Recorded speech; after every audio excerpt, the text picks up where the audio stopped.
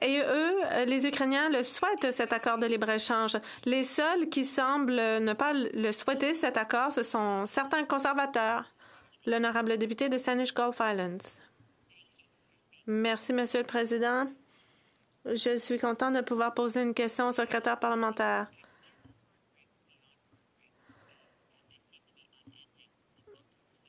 Depuis le 7 octobre, on vit moments difficiles par-dessus moments difficiles. Mais bon, euh, le Hamas, quand il a euh, attaqué Israël, ça a été un peu comme un cadeau pour Vladimir Poutine puisqu'on ne prête plus autant attention à l'Ukraine. Et je veux ici reprendre les mots du président Zelensky. J'étais euh, ému par sa condamnation du Hamas.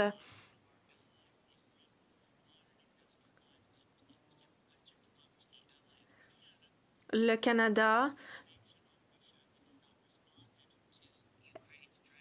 serait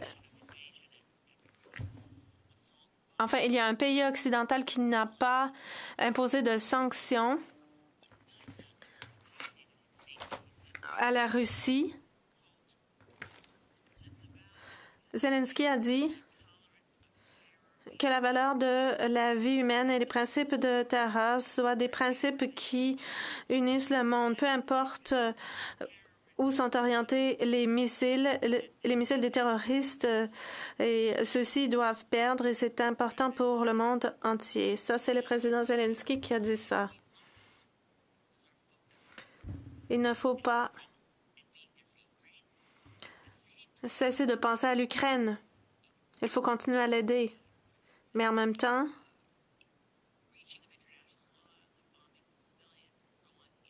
il faut penser au droit international il faut être conscient des bombardements contre les civils. Il faut penser à Israël qui a le droit de se défendre. Merci, Monsieur le Président. L'honorable député de Kingston-les-Îles. Merci, Monsieur le Président. Je remercie la députée de Saanich Islands pour la question. Elle a raison. Quand elle dit que malheureusement, on ne prête plus autant attention à l'Ukraine. Et c'est notre travail de ramener l'attention sur l'Ukraine aussi. Et on peut le faire en euh, débattant de projets de loi comme celui-là, en tissant des liens avec l'Ukraine pour continuer de prêter attention à ce peuple et à ses difficultés qu'il vit. L'Ukraine va remporter la guerre. C'est inévitable, selon moi. L'Ukraine se bat pour sa survie L'Ukraine a été envahie par la Russie, en particulier par Vladimir Poutine, et l'Ukraine va gagner, sans aucun doute. il faut être aux côtés de l'Ukraine.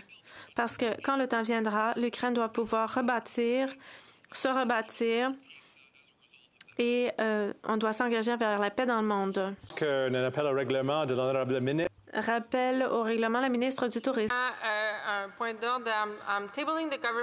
Je dépose la réponse du gouvernement